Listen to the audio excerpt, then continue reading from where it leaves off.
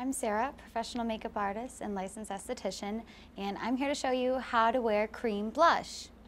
What you're gonna need includes a blush brush like this, or something similar, and your cream blush, along with a clean application sponge.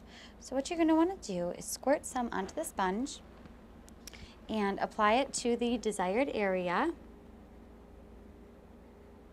And just kind of blot it along up the cheekbone.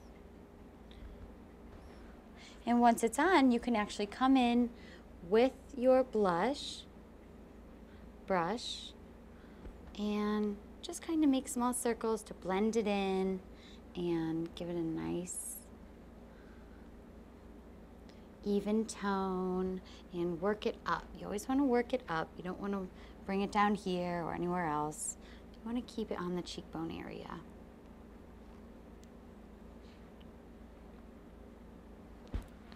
So that's how to wear cream blush. For more tips, you can check out my website at glowbysarah.com.